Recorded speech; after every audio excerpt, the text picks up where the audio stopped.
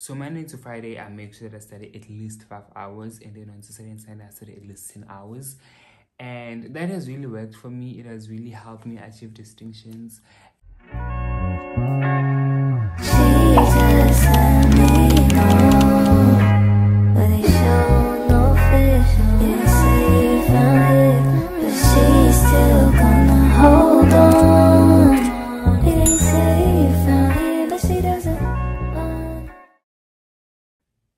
Themba babies, what do you do, babies? How you guys doing? Are you guys good? Are you guys well? Are you guys fine? Um, let me show you the time. It's literally 1.45 a.m. in the morning and don't ask me what am I doing I'm wearing a tie and a shirt. I was literally just studying and I decided to put on this tie and shirt to look professional and presentable because I want to do a video that has been highly requested on my channel. Um, people have been asking me to share my study tips that work for me. And I think it's about time that I do that because like I my content on YouTube is related to like getting good results, getting good marks, studying. Um, I do vlogs about how I spend my day, going to school and stuff. So today I'm just gonna be sharing my tips. Um, for those who don't know, I just started doing my master's degree in neuroscience um, at the University of Cape Town, also known as the University of the Future or the best university in Africa. So I love studying. I love studying so much. I don't know. I just find so much joy and comfort and and I don't know, it just makes me happy, it relaxes me. there's nothing else I'd rather do than just be there by my books as and this is literally coming from someone who's out every single weekend and partying every single weekend and living his best life and like trying new things and whining and dining and all that. But during the week, you literally find me like procrastinating for 12 hours a, a, um, um, a day or just studying or like on my laptop on my research doing something. So I really love school. But yeah, this video is not about that. It's just for if, if you're struggling with, with studying or if you want like study techniques that work for me and, and whatnot. So yeah all in all from my undergrad i had like this um rule that i need to study at least five hours um a day during weekdays and 10 hours a day on weekends. So monday to friday i make sure that i study at least five hours and then on saturday and sunday i study at least 10 hours. And that has really worked for me. It has really helped me achieve distinctions and get good results because like just having that thing um having that um set in stone just really pushes you to like get to your goals and um, I would advise you to like focus on one topic a day.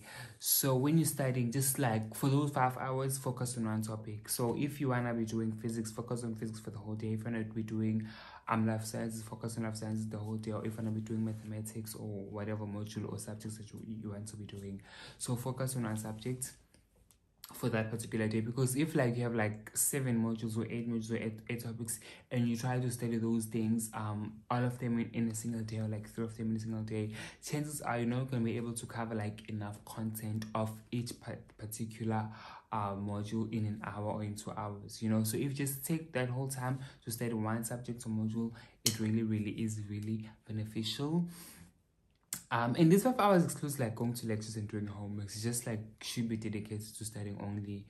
And then um, another study technique that works for me. So basically, how I study is that um, obviously we get your lecture slides. So get your lecture slides, and then from there, um, I don't if using lecture slides or textbook, whatever that you're using, go through the content of the work um by making notes first without even understanding the work because like what i noticed that when you make notes like writing something down um even if you're writing exactly from the textbook or your slides but if you're writing something down you're gonna grasp the topic you're just gonna grasp it a little bit right you're not gonna know it's like from the top of knowing it um going to it like the first time at least that's how i am then after going to making my notes from the slides of the textbook, I go to the slide of the textbook without reading the notes.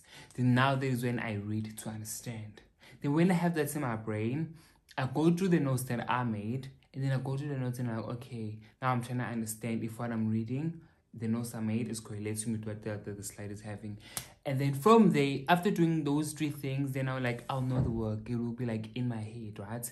Then after that, I go to YouTube videos um, and I go to YouTube videos all about the work that is related to what I just studied. And then YouTube videos literally just help me to visualize what I was learning and put it like in my brain. Then after doing that, I go through the slides again and I read the slides and I go to the notes and I read the notes. And then now after doing that, the work is literally in my brain. Like you literally have to do the same thing over and over again.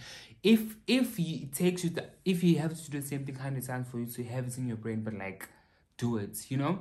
Then after that um i go to like question papers or questions or questions from the textbooks or question papers or whatever if they don't give us question papers i make my own questions which literally making your own questions is the best way to study because like i make my own questions based on the, on the on the slides and then i answer them and then after that i practice and i practice and i practice if I recite and I recite and recite. I read the work out loud. I walk up and down reading the work. I, I literally like go to the work over and over and over and over again.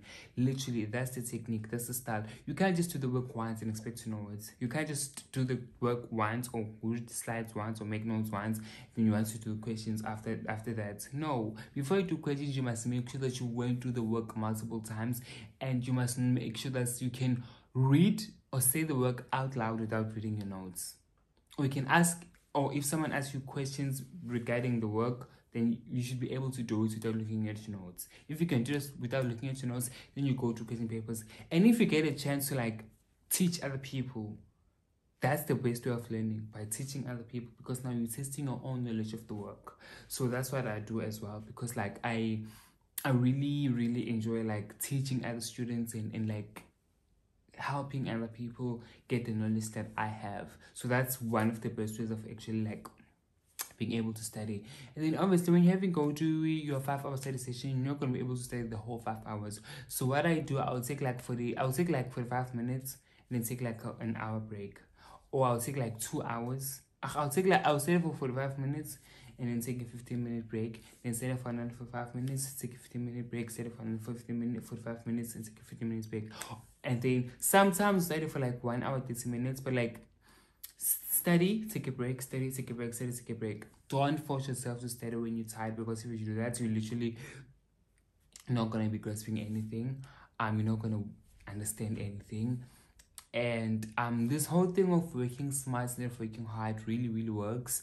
Um, you must wherever your institution is, you must understand the style of asking. If they're going to be asking you MCQ questions, it's not going to be beneficial for you to be studying um um long questions like when you're doing questions it's not going to be beneficial for you if you do long questions if not that's going to be asking you mcqs you see if you know that you're going to be asking you mcqs rather study make mcqs for yourself or go to previous mcqs if you're going to be getting long questions go to previous long questions instead of doing mcqs you see you gotta figure out the strategy of of, of, of asking um at your particular institution.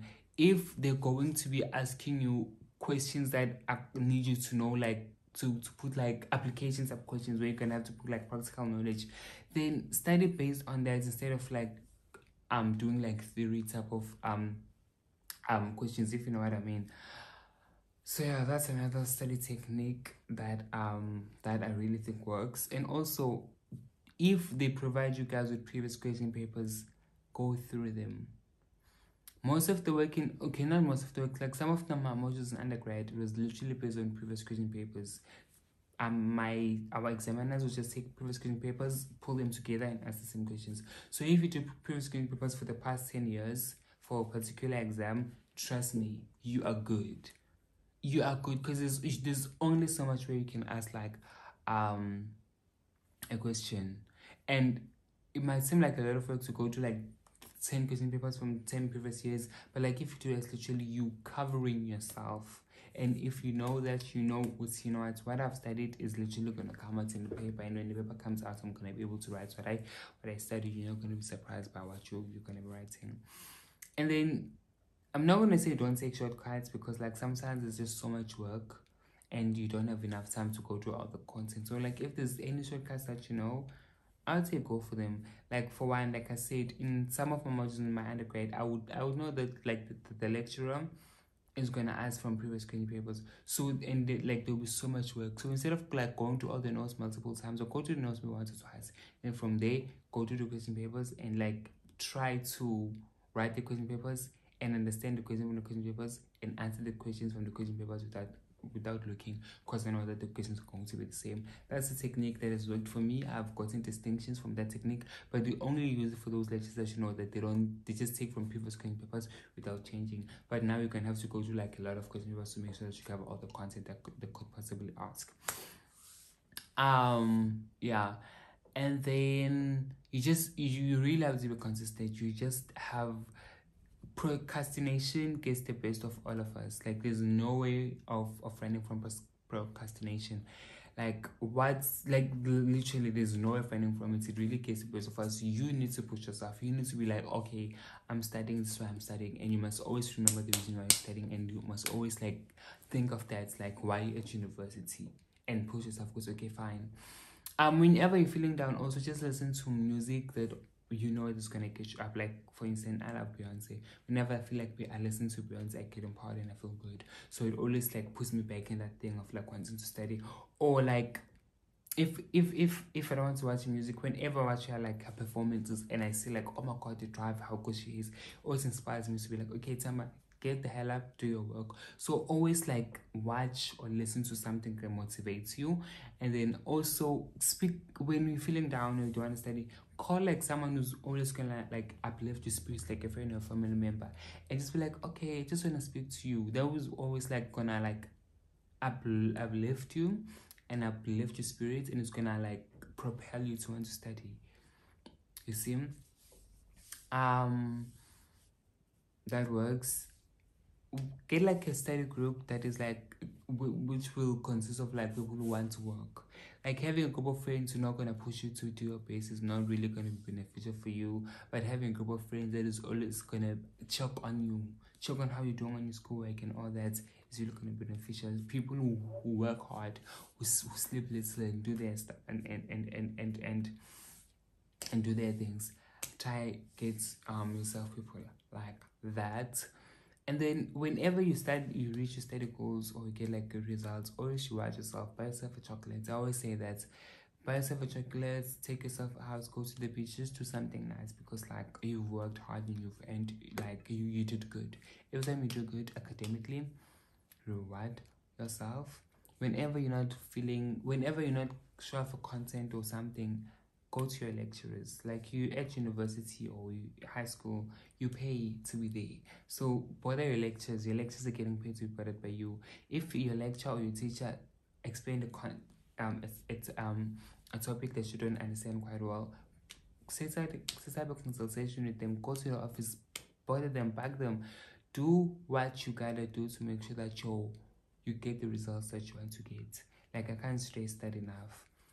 Um work hard, work smart, actually work smart, play hard, um, and just give it your all. Like honestly, give it your all. When you're tired, take that 30 minute nap and wake up and push. Like when you feeling distracted, wake up, stand up, take that 15 minutes work and come back. You know, take your 15 minutes break and come back and push. Like keep pushing and just remember that the you the real reason why you're doing this and whenever you need help or assistance just know that i'm always here. And i don't know how informational this video was but that's just what i have for you guys. And I hope that someone is gonna find this beneficial. And yeah now i'm gonna go back to my crusty clothes and take all of this off. And i hope you guys enjoyed my video. And yeah like if you enjoy my video actually consider subscribing to my channel because I do this for you guys. Um, let me know if there's any other content that you like to see from my channel. And yeah, bye.